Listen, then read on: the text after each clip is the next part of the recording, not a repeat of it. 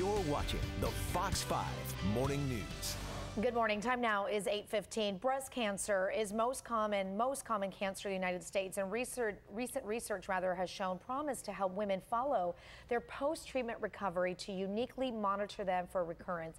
Here with us uh, today, board-certified plastic surgeon Dr. Vince Marin to help explain these findings. Dr. Marin, good morning and thank good you morning. for being here. My pleasure. We talk about breast cancer often. I know breast, um, you know, cancer awareness month is coming up in, in uh, I believe it's September, October actually.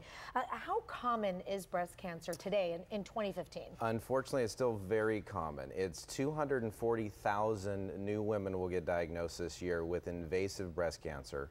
In addition, you'll get 60,000 additional women that are going to get diagnosed with non-invasive or in situ cancer. And currently, we've got about 3 million women in the United States battling disease. So it's very common. One in eight women over the course of their lifetime will get the disease. So when you think about your circle of the women all around you, moms, sisters, aunts, Yep. uh, someone will get it. Very few people haven't been personally affected by the disease. So what is this new um, study, the new finding? What, what is this about, the recurrence? So basically, recurrence happens and in somewhere between 7 to 25 percent of women, depending upon the stage of disease it's diagnosed. Okay.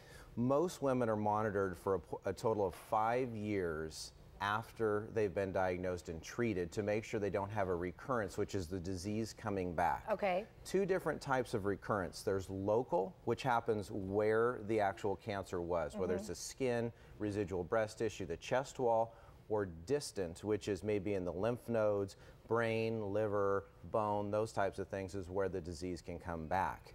The only way that we can normally find that is the disease has to grow to an extent that we can appreciate it, meaning Okay. Feel it, see it on imaging, um, and then that requires normally just because you have something there, we then have to prove it's cancer. It could be scar tissue, it could be something else. Mm-hmm. So normally that then requires a biopsy, a second surgical surgical procedure, which also has problems with respect to complications. You could have a you know an infection, a, a mm-hmm. problem, an issue with the lung if it's sitting right in that particular area. So when that happens, that's what a recurrence is. So this new test that's come out is a simple blood test. oh, it's a blood test now. You'll come into the office, they'll draw blood out, and they can check for circulating cancer cells. And they found it to be effective in 54 out of 55 women that they came through on the initial Wow. studies. So, what it does is it prevents women from having to go through all of these secondary treatment modalities.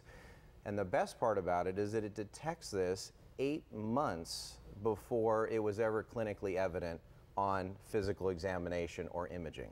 That's amazing. That's Yeah. a huge breakthrough. Right. And the reason we've had a lot of increased incidence of cancer is a problem, but then also the mortality or how frequently people are dying from this disease has gone down, and that's attributed to early detection.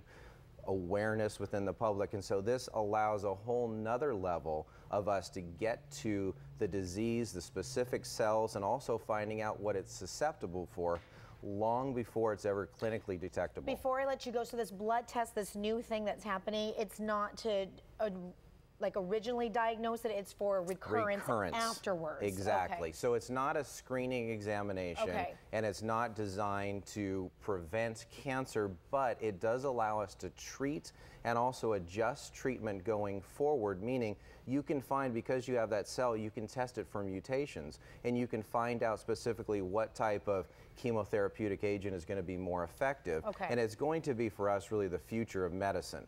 The biggest problem, Mm-hmm. it's not yet available in the United States. And these are, well, that being said, it's the future and what's coming. But at least it's a step. A It's a hundred step in that percent, direction. and and it's ways in which we're going to target and hopefully at some point eradicate this disease in the United States. we hope so. Dr. Marin, thank you for being here. Always good pleasure. to see you. All right. Chrissy, we'll get it over to you.